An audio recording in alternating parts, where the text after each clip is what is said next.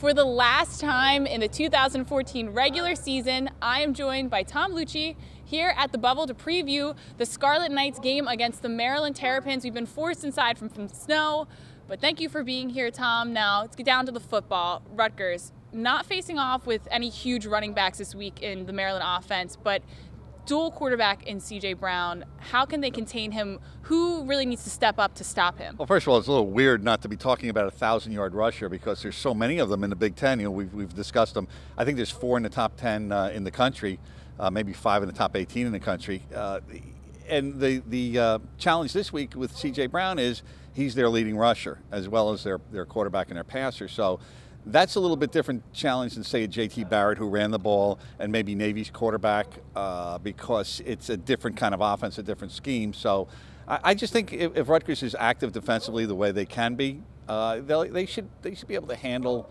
Uh, CJ Brown. He doesn't have huge rushing numbers, although Kyle Flood said today, if you take away the sacks, he's averaging about five yards a carry. But it's a different kind of concept in offense that you're looking at when the quarterback, you know, rushes the ball that often and you don't have a running back with over 300 yards. We're in the last game of the season, so it's a little bit unique and un unusual for this defense to face. And obviously, Ralph Friedgen has some familiarity with this team. A lot, yeah. How, how will that help Rutgers' offense in this game, do you think? Well, I think as Kyle Flood said today, the, the only advantage is uh, Ralph Friedgen knows these players since he recruited some of them. But that was almost five years ago. In the case of C.J. Brown, he's a six-year senior.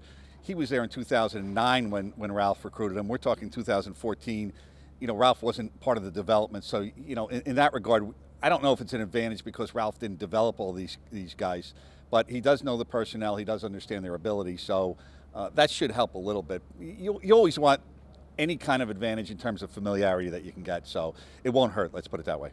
And now there's been a lot of talk about this being a regional matchup and how that adds to it in terms of scouting in the in the future, recruiting, and yeah. to the players today playing on Saturday. How do you think that impacts the players on the team? Well, I hope it develops into a rivalry, just as I hope Penn State does, because uh, I'm in agreement with Kyle Flood on this.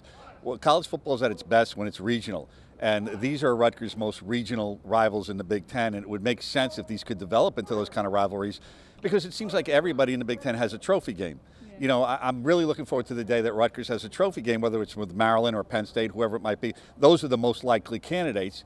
And so you hope that it develops. You don't want bad blood, obviously, as we saw, I think, the Maryland, the start of the kickoff Maryland Penn State, but you want it to be a good, healthy rivalry that goes back and forth and there's a lot of give and take. So hopefully this is the start of it, even though Rutgers has played Maryland in the past. Now they know they're playing them every year.